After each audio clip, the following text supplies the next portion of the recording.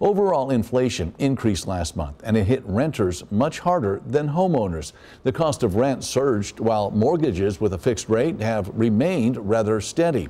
According to Realtor.com, rent is up 22% compared to pre pandemic levels. Renters also struggled because, on average, they pay a larger share of their monthly wages for shelter, giving them less money for other costs compared to homeowners.